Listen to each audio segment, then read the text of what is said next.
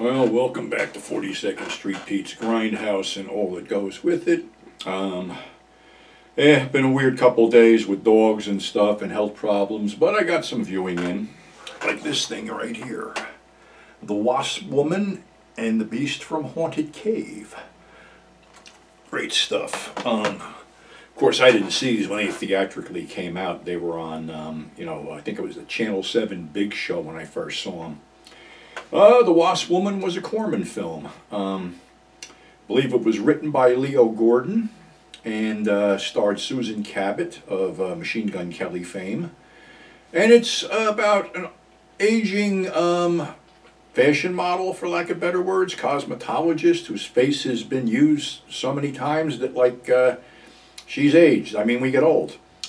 So she gets in touch with a mad scientist who has been doing something with uh, wasps and injects her with some wasp enzymes, which basically brings back her faded youth but gives her an appetite for human flesh as she tears people apart. Off camera, of course. Uh, of course, one of the people she tears apart is Bruno VeSota, Soda, who was a really big guy, so of course we couldn't have that shown.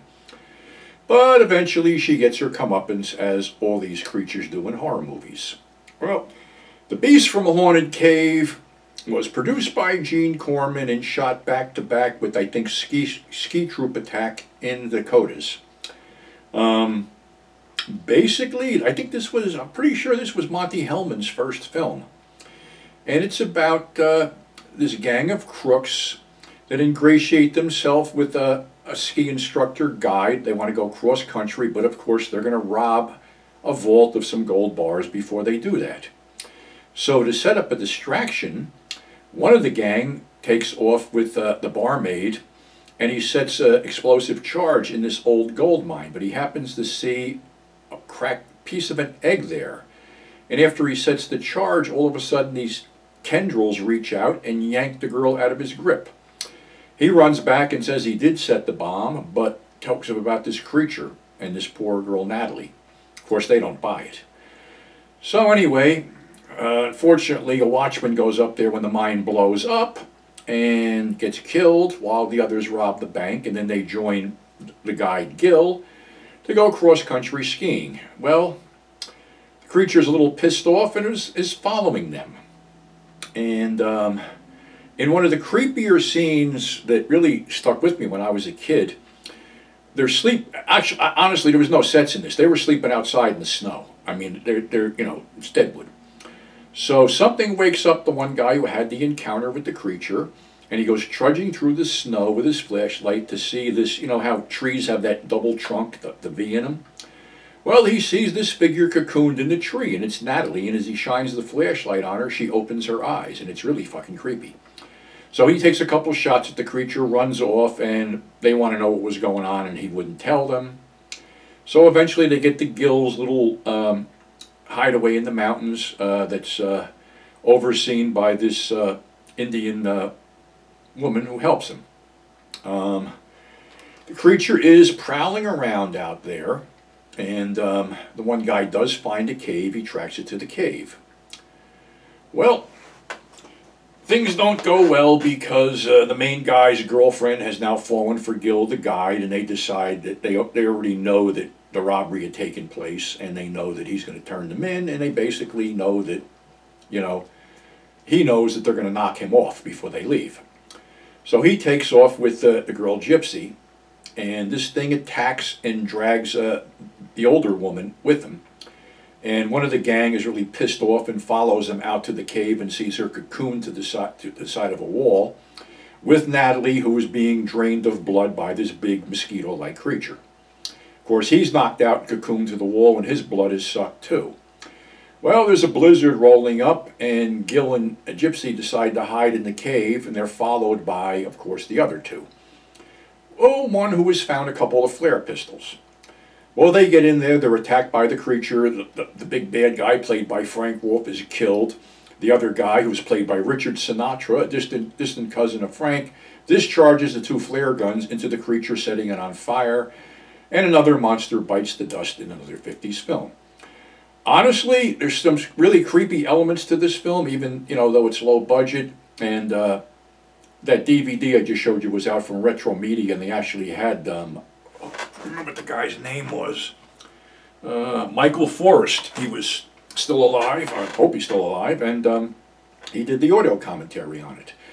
Uh, Frank Wolff did a couple more movies in the States, but quickly emigrated to Italy, where he became uh, a hot item there in regular films and spaghetti westerns. But unfortunately, uh, he suffered from depression and committed suicide uh, later on in life. Uh, the other film I watched was Stuart Gordon's From Beyond, the follow-up to The Reanimator that again starred Jeffrey Combs, um, Barbara Crampton, Ken Foree, and uh, only a couple other people. It's basically uh, a six-person shoot. They have this resonator that brings things in from beyond, including this creature who takes over um, Jeffrey Combs' mentor. I think, what's his name? Um, Crawford Tillinghast or something. That's, that's his name in the thing. So this thing does all kinds of, it, it stimulates your pineal gland, in which the pineal gland pops out of Jeff's head after uh, some encounters with the creature. Uh, Barbara Crampton strips down to a leather uh, outfit with black stockings and stuff as there's something in her head. Um, all kinds of crazy stuff. Non-stop gore, heads getting twisted off by this creature, a huge worm in the basement, Ken Foree running around half naked until he's eaten by a horde of flies. And eventually the house has to be blown up to get rid of the resonator and get rid of Dr. Pretorius, who was the guy who got sucked in, who became one with whatever this creature was. Um, this one actually got a theatrical release as the Reanimator really didn't. It, Reanimator made the rounds real quick as people bitched about the cat scene or something, I think. But this one's just as over the top and just as crazy, so um, yeah, definitely worth a look from beyond. Um, got something in the mail today. The new issue, oh my god, number 62 of Shock Cinema magazine. Unfortunately, after decades of staying at $5, they actually had to raise the price to $7, but it's still worth it. It's probably one of the most longestly enduring uh, magazines out there. And they did a couple uh, little reviews on Midnight Magazine, embracing horror, sci-fi, fantasy, and all of its pop culture forms. Films, TV, books, and comics. This massive 92-page issue from editor Eric Wright includes interviews with director Tim Ritter, Truth or Dare, SFX artist Tracy Jane, articles on the Carnosaur trilogy, Ricou Browning, and crappy Frankenstein films, plus a smattering of reviews. Okay, Grindhouse Resurrection, number one. Pete Chiarella, aka 42nd Street Pete, returns with a new mag overflowing with all the info, opinions, and attitude that we've enjoyed for decades. Decades. Um, this 68-page premiere issue contains an enjoyable mix of exploitation movies, wrestling, grindhouse memories, reviews, sleazy paperbacks, early monster mags, obits, plus Stephen Bissette recalls seeing Eaten Alive.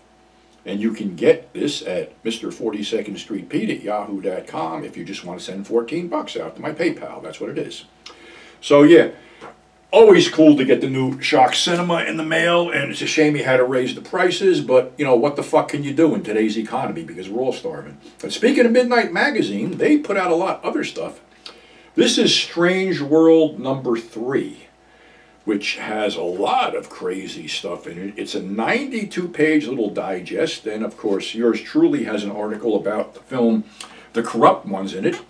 And you can get this uh, from Midnight Magazine at Big Cartel, um, or, you know, actually that's the only place you get it. Midnight Magazine at Big Cartel. So definitely worth a look. Um, it's a little bit on the adult, uh, adults only side, but hey, we like shit like that, right? So, uh, yeah, it's all cool.